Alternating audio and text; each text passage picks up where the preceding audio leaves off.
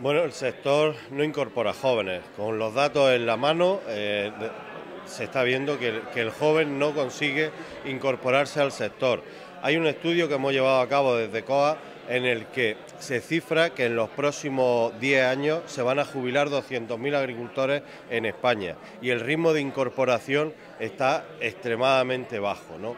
Eh, además, creemos que todo el proceso burocrático que está eh, relacionado con la incorporación de jóvenes eh, son precisamente uno de los frenos eh, en, esta incorporación.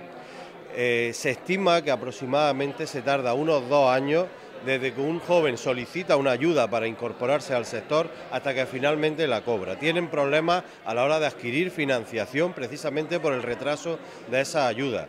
Faltan tierras para la incorporación, de hecho, la inmensa mayoría de jóvenes que se están incorporando al sector proceden de hijos de agricultores o nietos de agricultores y lo que hacen es heredar y continuar con una explotación que ya está eh, en activo, pero no existen nuevas incorporaciones en nuevas tierras.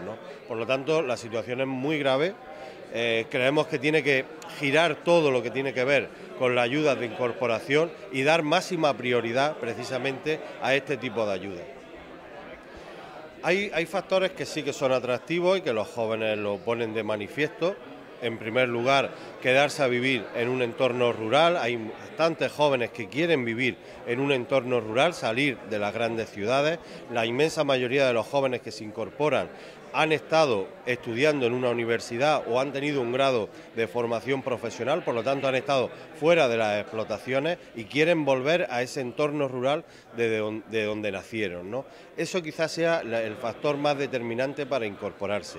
El freno está sobre todo la falta de garantía en una renta a la hora de, de establecer un medio de vida. La inseguridad en cuanto a la renta que le puede quedar a un agricultor cuando pone en marcha una explotación y recoge su cosecha, es quizás el factor de freno más importante, o por lo menos los jóvenes así lo ponen de manifiesto. También nos pasa a los más mayores, vivir eternamente con la incertidumbre de no tener un salario garantizado para poder mantener una familia.